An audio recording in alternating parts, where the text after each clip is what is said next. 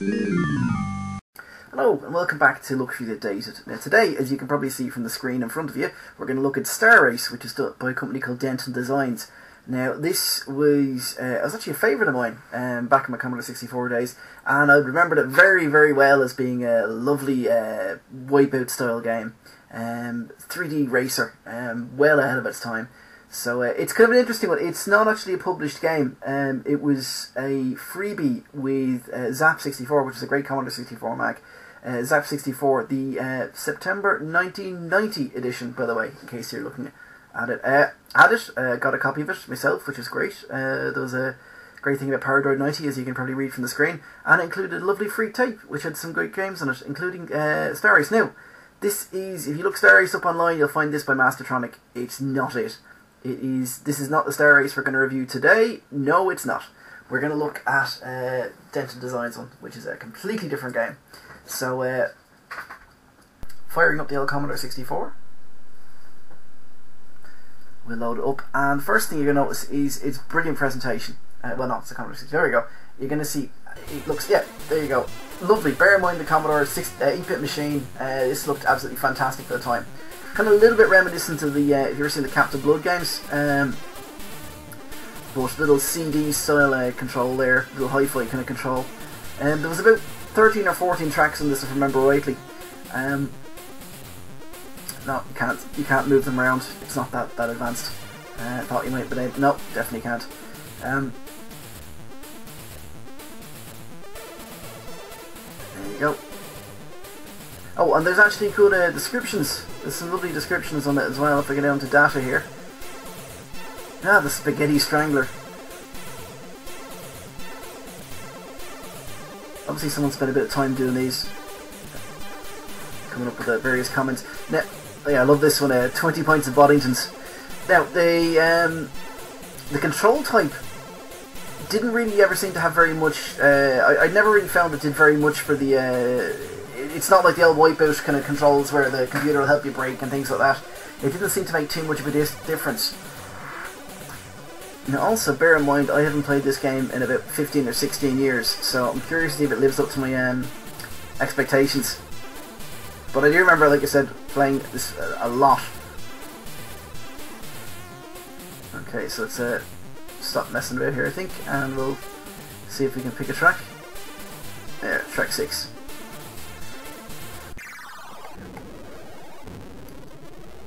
Okay, so lovely kind of 3D effect. Uh, ah, here we go. So it's if you've ever played the Commodore 64 version of Aliens, uh, which is the UK one, not the American one, um, you'll have seen the dropship had a kind of similar enough idea. You have to stay within the um, sorry the, the dropship section where you have to land on the planet. You stay within the lines basically, and uh, if you move too far, oh no, hit a hit one of the uh, the other ships there. So you have to stay basically within the the track uh, or if you don't, you immediately start to slow down. If you hit anything, um, you're basically dead. so, okay, computer is over. Yeah, there we go. Okay, so it's basically uh, flight simulator style controls. Pull back to uh, put your nose in the air, push down to put the nose down, and left and right steer left and right. First impressions are it is treacle slow. Uh, it's not aged well.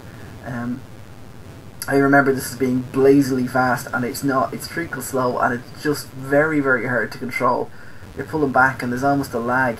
You know, the sound is terrible. By the way, I've actually muted it, um, just because it's it's really just a kind of uh, kind of crappy engine noise, and uh, kind of just beeping around. But it is very, very, very slow here. So what I'm going to do with the wonders of emulation in a second is crank the speed up a bit because it just to see if it plays any better. Um, like I said, in my memory, this had been a sort of uh, precursor to Wipeout, and looking at it here, it's it's not. I'm beginning to see why it was never actually officially published, way it was kind of just given to a magazine as a freebie. Um, the present, oh, bit of a noise there. The presentation is fantastic. Okay, I'm going to crank the speed up by the way, so we'll see how this goes. Oh, ah, yeah. okay, bit harder to control. Um, no, and rough, and we're back up.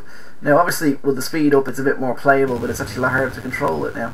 Um, the trick seems to be just, you know, uh, leave the track for a second or two, uh, get over the guys, and go back in again. Uh, but yeah, as I was saying, I can kind of, uh, in the cold light day, I can see why this is a, why it was never published. It, it looks fantastic, uh, but it just is completely unplayable. Um, there's the shell of a good game here. It's important, you know. Every all the trappings of the game are fantastic. The, uh, the presentation's brilliant. The uh, the music is pretty good, um, and the wireframe graphics are, are great for the time. But there's just no game here, um, and it's a real and it's again it's beyond the limitations of the machine. This is it. Oh, hit, the, hit a ball there. This is kind of running well beyond what a Commodore 64 would have been able to do, uh, and it's just a bit playable. The Commodore 64 could shift, you know. Um, wireframe graphics around uh, and even filled in. I mean, Stunt Car is a great example of that. Um, you know, but just this is uh, it's it's going to be on it. I'd love to see what this runs like on something like the Atari 8 bits that could do some good 3D stuff. But uh, there you go. But that that's it. Um, 14th Star Race. Uh, not the amazing jewel of a game I remember from my uh, youth. Still though, for something that came free with a magazine, um, well, the music was good, I guess. Uh, that was one probably best left in the past. Uh, that's been Luxuries Outdated. Um, see you later.